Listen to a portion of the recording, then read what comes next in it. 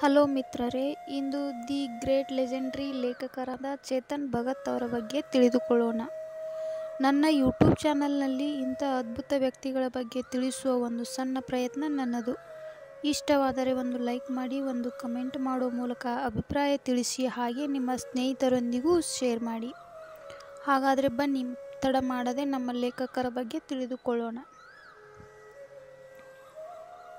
ಇವರು ಚೇತನ್ ಭಗತ್ ಅಂತ ಒಬ್ಬ ಪ್ರಖ್ಯಾತ ಭಾರತೀಯ ಲೇಖಕರಾಗಿದ್ದು ಏಪ್ರಿಲ್ ಇಪ್ಪತ್ತೆರಡು ಹತ್ತೊಂಬತ್ತು ನೂರ ಎಪ್ಪತ್ನಾಲ್ಕರಂದು ಭಾರತದ ನವದೆಹಲಿಯಲ್ಲಿ ಜನಿಸಿದರು. ಅವರು ತಮ್ಮ ಜನಪ್ರಿಯ ಮತ್ತು ಸಾಪೇಕ್ಷ ಕಾದಂಬರಿಗಳಿಗೆ ಹೆಸರುವಾಸಿಯಾಗಿದ್ದಾರೆ. ಪ್ರಾತಿ, ಪ್ರಾಥಮಿಕವಾಗಿ ಸಮಕಾಲೀನ ಕಾದಂಬರಿಯ ಪ್ರಕಾರದಲ್ಲಿ ಭಗತ್ ಅವರು ದೆಹಲಿಯ ಇಂಡಿಯನ್ ಇನ್ಸ್ಟಿಟ್ಯೂಟ್ ಆಫ್ ಟೆಕ್ನಾಲಜಿಯಿಂದ ಪದವಿ ಪಡೆದರು ಮತ್ತು ನಂತರ ಅಹಮದಾಬಾದ್ನ ಇಂಡಿಯನ್ ಇನ್ಸ್ಟಿಟ್ಯೂಟ್ ಆಫ್ ಮ್ಯಾನೇಜ್ಮೆಂಟ್ನಿಂದ ಎಂ ಬಿ ಎ ಪಡೆದರು. ವಿಶೇಷವಾಗಿ ಭಾರತದಲ್ಲಿನ ಯುವಕರಲ್ಲಿ ಅಪಾರ ಜನಪ್ರಿಯತೆಯನ್ನು ಗಳಿಸಿದ ಅವರು, ಹೆಚ್ಚು ಮಾರಾಟವಾದ ಕಾದಂಬರಿಗಳಿಗೆ ಅವರು ಹೆಚ್ಚು ಹೆಸರುವಾಸಿಯಾಗಿದ್ದಾರೆ. ಭಗತ್ ಅವರು ಬರವಣಿಗೆ ವೃತ್ತಿ ಜೀವನವು ಎರಡು ಸಾವಿರದ ನಾಲ್ಕರಲ್ಲಿ ಪ್ರಕಟವಾದ ಅವರ ಚೊಚ್ಚಲ ಕಾದಂಬರಿ ಫೈವ್ ಪಾಯಿಂಟ್ ಸಮ್ ಒನ್ನೊಂದಿಗೆ ಪ್ರಾರಂಭವಾಯಿತು. ಇದು ಭಾರತೀಯ ಶಿಕ್ಷಣ ವ್ಯವಸ್ಥೆಯಲ್ಲಿ ವಿದ್ಯಾರ್ಥಿಗಳು ಎದುರಿಸುತ್ತಿರುವ ಸವಾಲುಗಳನ್ನು ಪರಿಶೋಧಿಸಿತು.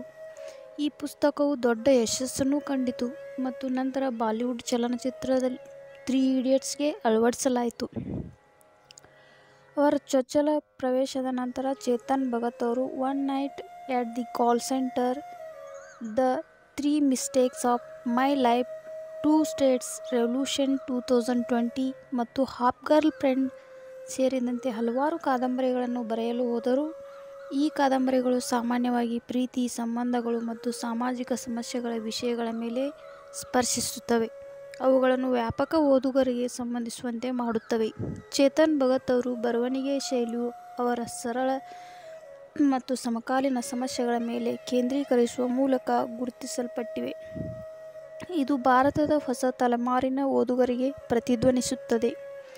ಭಾರತೀಯ ಇಂಗ್ಲಿಷ್ ಕಾದಂಬರಿಯನ್ನು ಜನಪ್ರಿಯಗೊಳಿಸಿದ ಮತ್ತು ಅದನ್ನು ವಿಶಾಲ ಪ್ರೇಕ್ಷಕರಿಗೆ ಪ್ರವೇಶಿಸುವಂತೆ ಮಾಡಿದ ಕೀರ್ತಿಯು ಅವರು ಚೇತನ್ ಭಗತ್ ಅವರಿಗೆ ಸೇರಿ, ಸೇರಿರುವುದಾಗಿರುತ್ತದೆ.